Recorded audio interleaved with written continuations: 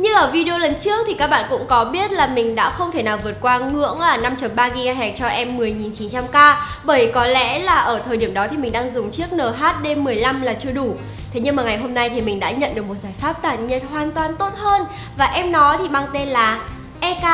IO 360 và hy vọng thì em nó sẽ giúp mình có thể vượt qua được ngưỡng 5.3 này một cách trơn tru mượt mà nhé. Và chào mừng các bạn đã quay trở lại với channel của Hà Nội Computer. Nếu các bạn chưa biết thì EK là thương hiệu đến từ vùng Slovenia xa xôi. Nó có tuổi đời hơn 20 năm và chuyên sản xuất các linh kiện tản nhiệt máy tính. Và có lẽ tới thời điểm hiện tại thì đây là hãng lớn nhất trên thế giới hiện nay.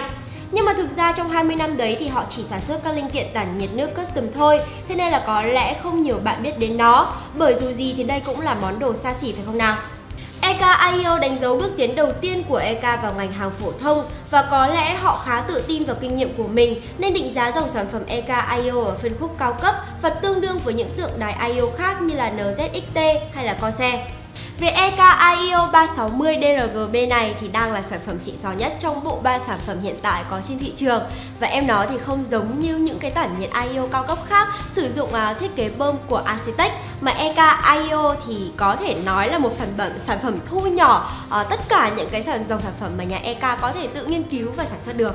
Bơm sử dụng được hiệu chỉnh từ chiếc EK FPC bởi nếu để nguyên lưu lượng là 450 lít trên giờ và lực đẩy là 3,2 m thì hơi quá với một bộ tản nhiệt nhỏ như thế này.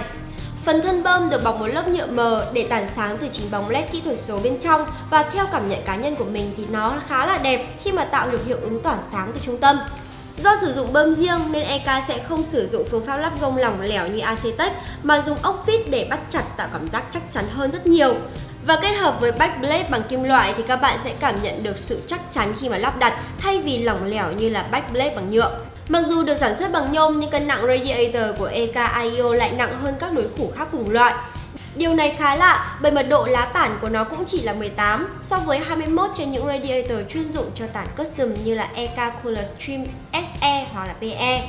Có lẽ EK để mức 18 này là giúp cân bằng tốt hơn giữa hiệu năng và độ ồn, bởi nếu như tới con số 21 thì hiệu năng sẽ tốt hơn, nhưng mà quạt sẽ phải hoạt động nhiều hơn để áp gió xuyên qua các lá tản.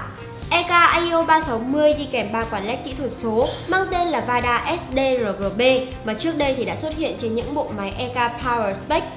Chúng có tốc độ từ 550 cho đến 2200 vòng mỗi phút và lưu lượng gió tối đa ở đây là 66 cfm. Điểm khác biệt của những chiếc Vada S này đó là chúng sử dụng khung vuông đặc Mặc dù không đẹp cho lắm nhưng mà lại có tác dụng tốt hơn nhiều so với các loại khung tròn khác trong việc điều hướng chống gió bật ngược lại từ radiator. Nếu xét trong phân khúc tản IEO cao cấp khoảng 4,5 triệu đồng thì EK IEO là sản phẩm duy nhất cho chúng ta 3 quạt LED và chúng được điều khiển cùng với đèn LED block thông qua cổng LED 5V kỹ thuật số phổ biến.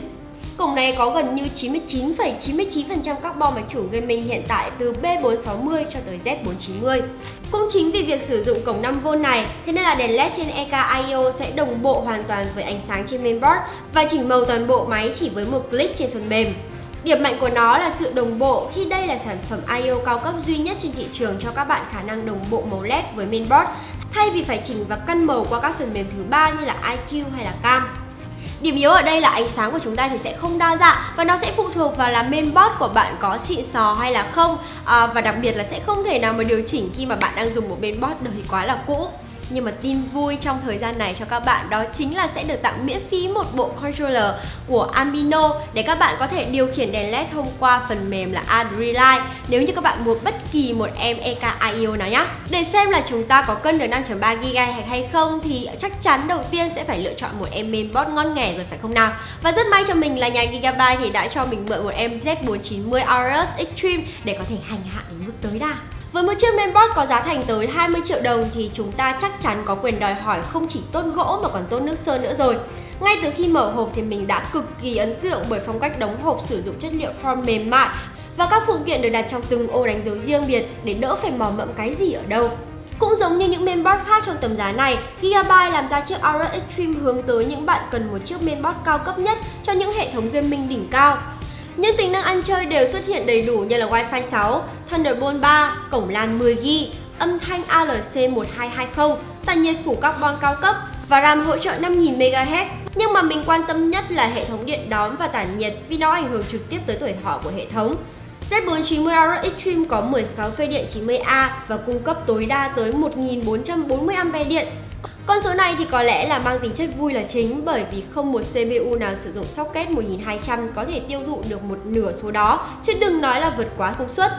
Nhưng dù sao càng nhiều phây thì chia tải càng nhiều và càng mát. Điều đó được chứng minh khá rõ khi mà dàn phây luôn luôn giữ ổn định ở mức nhiệt khoảng 65 độ C,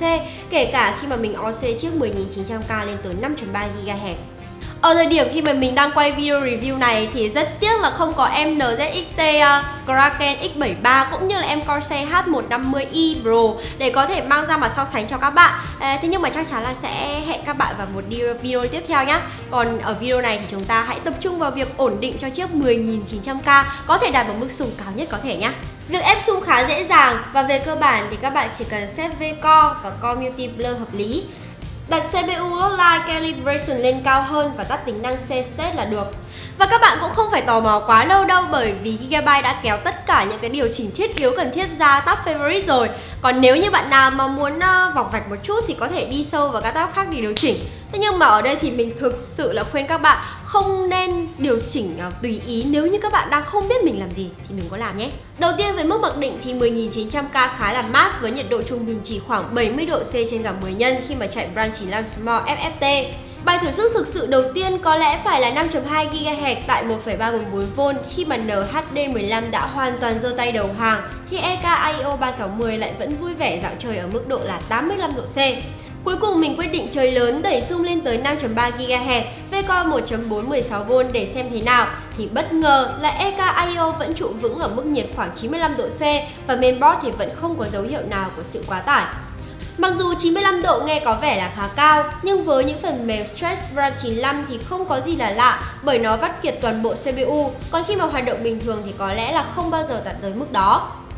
Ví dụ như khi mình chạy Cinepen R15, R20 hay là Biomat Fairchild để giả lập các việc chơi game hay là render thì nhiệt độ cũng chỉ loanh quanh đâu đó là 60 đến dưới 90 độ mà thôi. Và câu hỏi mình đặt ra ở cuối video này đó chính là chiếc EK IO này liệu có đáng mua hay không? Thì à, nếu như các bạn nào đang muốn tìm một chiếc tản nhiệt all-in one mà có màu mè đẹp đẹp một chút thì mình nghĩ là những cái dòng NZXT, X-Series thì vẫn có thể là đẹp hơn. Nhưng mà nó chỉ đẹp ở phần block thôi Còn nếu như các bạn muốn quạt có LED thì chắc chắn là phải đầu tư khoảng đâu là 3 triệu đồng nữa. Và với mức giá đấy thì chúng ta sẽ có nhiều lựa chọn khác phải không nào? Còn nếu như bạn nào đang muốn tìm một chiếc là nhiệt all-in one tốt thì mình nghĩ là em EK này đang là em có hiệu năng tốt nhất và không có đối thủ. À, tiếp theo đó thì ở đây thì mình cũng hơi tiếc một chút là đang không có một chiếc uh, tản nhiệt 360mm nào để có thể so sánh với em nó. Nhưng mà có thể dạo một vòng quanh trên uh, Youtube về khi mà các uh, Youtuber nước ngoài họ có review ấy Thì em EKIO này thì vẫn đang là em có hiệu năng tốt nhất trong cái dòng tản nhiệt trong cái phân khúc tản nhiệt cao cấp này. Đương nhiên thì đèn led không phải là thế mạnh của nhà EK à, Nhưng mà có lẽ thì ở đây họ vẫn đang chí vẫn làm có tâm Bởi vì đèn led của chúng ta thì không bị ngắt à, đoạn này. Cũng như là cái sự chuyển tiếp các màu ấy Thì nó sẽ rất là hài hòa và dễ chịu. Và đặc biệt hơn nữa thì à, có thể nói à, EK luôn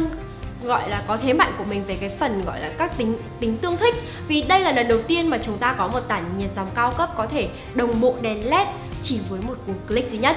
và trên đây là tất cả những đánh giá của mình về em EKIO 360 này. Nếu như các bạn có ý kiến gì cũng như là có muốn mình review thêm những sản phẩm nào khác Thì hãy comment xuống phía bên dưới để cho mình cũng như là mọi người cùng biết nhé. Còn bây giờ thì cũng đừng quên like, share và subscribe để ủng hộ cho kênh chúng mình cũng như là gặp mình trong thời gian tới. Và bây giờ thì xin chào và hẹn gặp lại!